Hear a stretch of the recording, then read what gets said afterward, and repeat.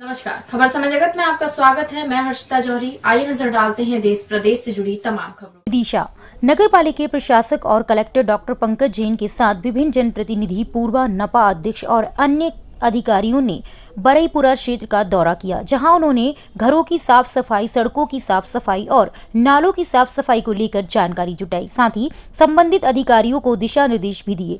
Collector ने कहा कि शहर को स्वच्छ रखने के लिए सभी लोग एक साथ जनता के सामने हैं। हमें आम जनता के सहयोग की भी ज़रूरत होगी।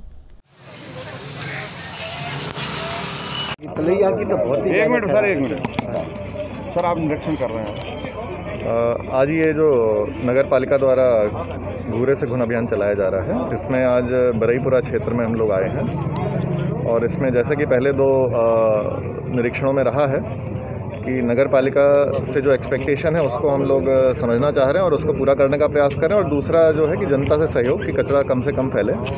और आज बहुत अच्छी बात है कि आज हमारे साथ हमारे कई जनप्रतिनिधि मौजूद हैं माननीय पूर्व नगर पालिका अध्यक्ष टंडन जी मौजूद हैं, विभिन्न राजनीतिक दलों के कार्यकर्ता मौजूद हैं और जनता मौजूद है और कई पूर्व पार्षद हमारे साथ मौजूद हैं। और जो हमारा आह्वान था कि नगर पालिका में चूँकि अभी वर्तमान में प्रशासक हैं तो कोई जनप्रतिनिधि ऐसा फील ना करें कि अधिकारी ड्रिवन नगर पालिका अभी आज वाकई में जनता की नगर पालिका पूरी आई है साथ में नगर के वासी आए हैं साथ में। सर एक चीज़ और देखी जा रही है कि आप आए हैं और सफ़ाई हो जाती है तो जिसमें आप नहीं आते तो जो का तो देखिए देखिए एक चीज़ है कि आए हैं सफ़ाई हो जाती है ये एक्सपेक्टेड है और इतना तो एटलीस्ट होना चाहिए लेकिन ये बात ज़रूर है कि नहीं आने पे भी सफ़ाई रहे और उसमें लोकल इन्वॉल्वमेंट हमें बहुत ज़रूरी है हमारे नगर पालिका के कर्मचारियों को भी हम मोटिवेट कर रहे हैं।